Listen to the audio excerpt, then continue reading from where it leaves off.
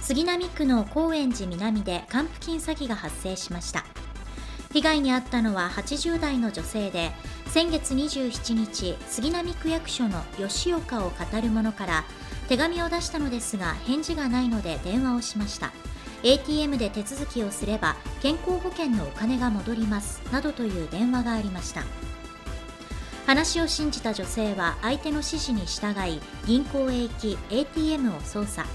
6回に分けておよそ292万円を振り込みました。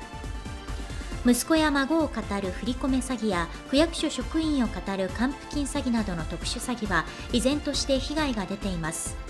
電話口でお金やキャッシュカードの話が出たら詐欺の可能性が非常に高いです。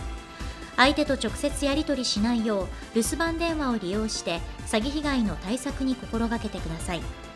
少しでも怪しいと思ったら1人で悩まず必ず家族や警察に相談してください。